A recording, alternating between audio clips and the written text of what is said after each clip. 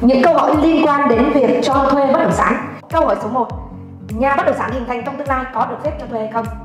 Có, nếu như nhà đó có đủ điều kiện để cho thuê. Câu hỏi số 2 hợp đồng cho thuê có cần thiết phải công chứng hay không?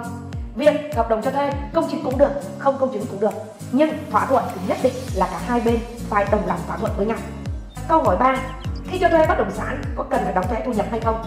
Về quy định thì đương nhiên khi chúng ta phát sinh về doanh thu, về thu nhập, chúng ta phải khai báo về thuế. Tuy nhiên hiện nay về việc cho thuê, đa phần chúng ta tự làm và không khai thuế.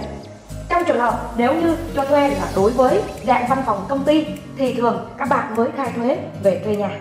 Khi cho thuê nhà có cần phải khai báo với công an hay không?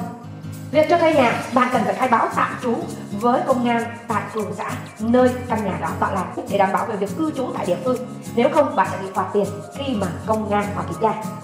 Rồi, khi xảy ra tranh chấp đến việc cho thuê, bên thuê vi phạm thanh toán thì phải xử lý như thế nào?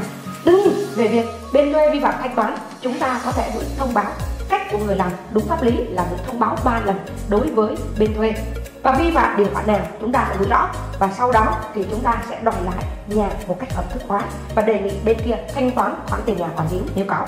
Đừng quên, nếu bạn thấy hay thì hãy tác những người bạn của mình và thả tim cho ta ra để chúng ta có nhiều kiến thức liên quan đến lĩnh vực về bất động sản nhé.